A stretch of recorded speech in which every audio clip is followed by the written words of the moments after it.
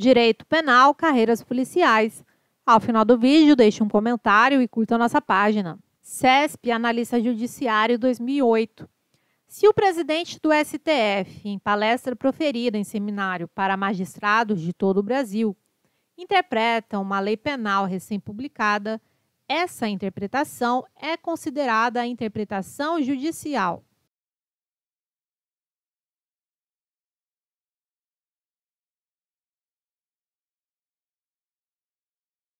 Item errado. A questão traz uma interpretação doutrinária, proferida por um estudioso do direito.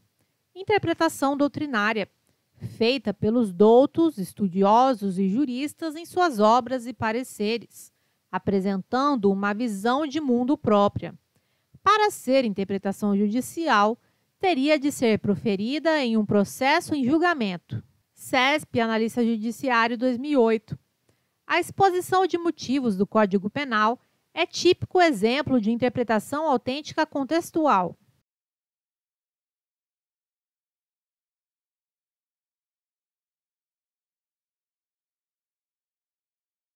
Item errado. Pelo fato de não integrar o texto da lei, as disposições relativas à exposição de motivos do Código Penal é interpretação doutrinária exposição de motivos do Código Penal, não é interpretação autêntica contextual, é interpretação doutrinária. CESP, Analista Judiciário 2008. Segundo a máxima, in clare cessate interpretatio, pacificamente aceita pela doutrina penalista, quando o texto for suficientemente claro, não cabe ao aplicador da lei interpretá-lo.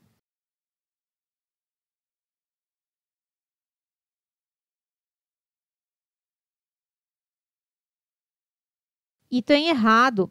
Texto é suficientemente claro. Não é necessário esforço interpretativo. Ainda assim, haverá interpretação, literal ou gramatical.